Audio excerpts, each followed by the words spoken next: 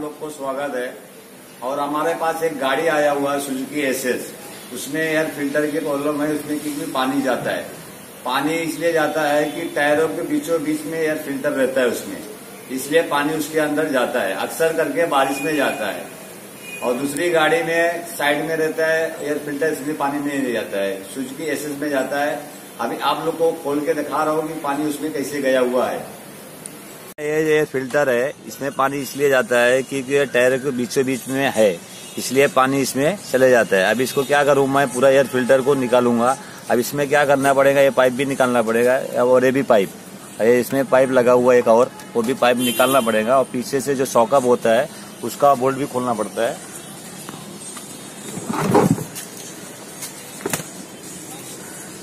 ये देखिए, ये भी बोल्ट इसको खोलना पड़ेगा, ओपन करना पड़ेगा। ओपन करने के बाद फिर ये फ़िल्टर ही निकलेगा, नहीं तो फिर फ़िल्टर नहीं निकल पाता है। अब ये देखिए इसका ये जो पाइप है, अब ये पाइप निकाल लिया अभी दूसरा।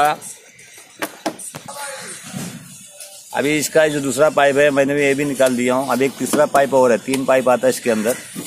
ये देखिए, ये पाइप लगा हुआ रहता है। मैंने अभी इसको ये निकाल दिया हूँ, तीनों पाइप। एक ये लगा हुआ रहता है।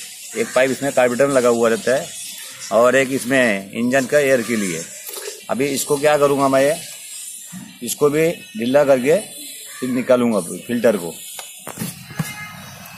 एयर फ़िल्टर में और दो बोल्ट लगा हुआ रहता है, एक इधर लगा हुआ रहता है, एक इधर उसको भी निकालना पड़ता है। अभी देखिए हम लोगों ने उसको पूरा बोल्ट को निकाल दिए।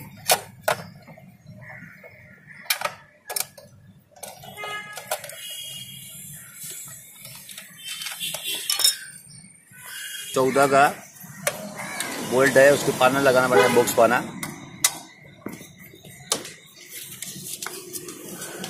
ये देखिए पूरा इसको अभी, हम लोग पूरा बोल्ट को खोल रहा हूँ, देखो।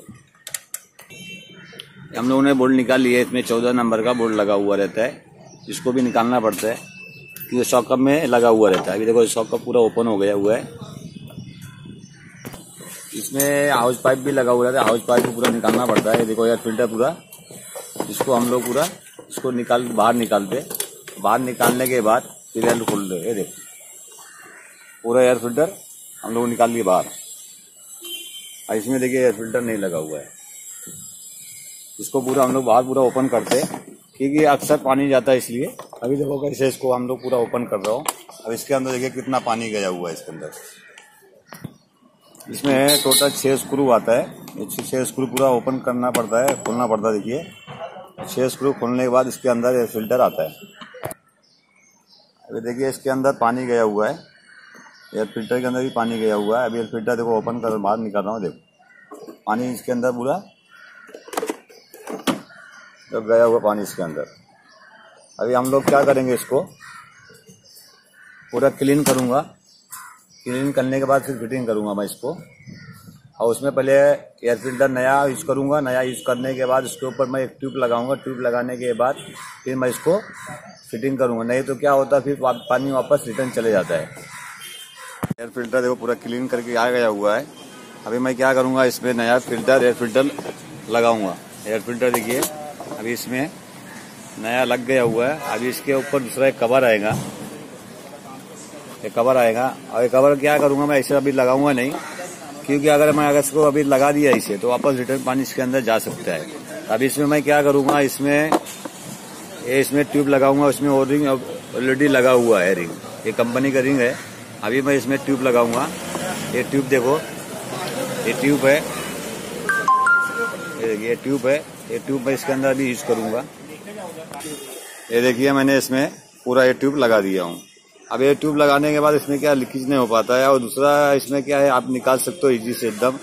ये सूखने के बाद पूरा इसमें लबड़ बन जाता है। इसमें कोई डरने की बात नहीं है। आप इसमें लगा सकते हो, कोई भी ट्यूब आप इंजन में लगाते हो, इंजन में जो लगा हुआ ट्यूब रहता है, आप कोई भी ट्यूब लगा सकते हो। इसमें क्योंकि ये चिपक जाता है। और चिपकने के बाद क्या पानी नहीं आता। अब इसको देखो, मैं फिटिंग कर रहा हूँ।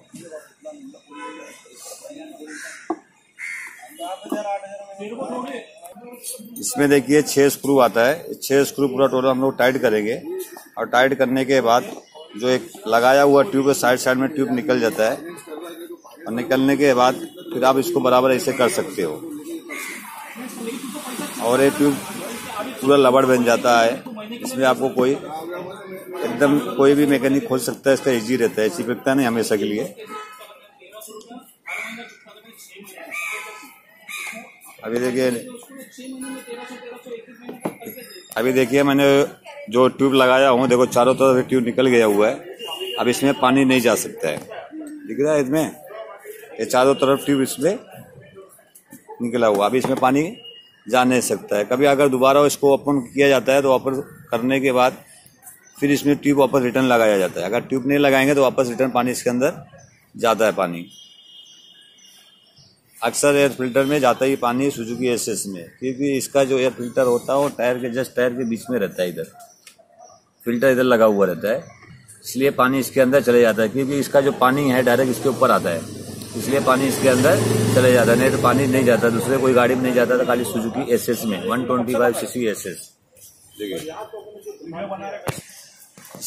इसमें देखो हाउस पाइप लगा हुआ रहता है इसके अंदर। अभी जो मैंने सब निकाला था, अभी देखो उसमें लगा दे रहा हूँ मैं।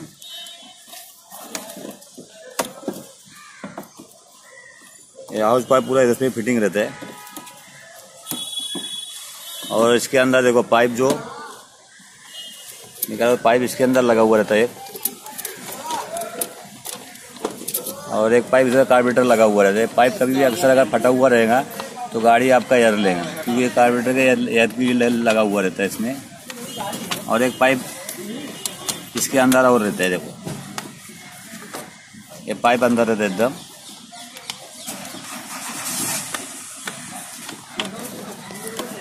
अभी देखिए, पूरा फिटिंग हो गया हुआ है। कभी भी अगर लगाना है तो ट्यूब लगाना ज़रूरी रहता है।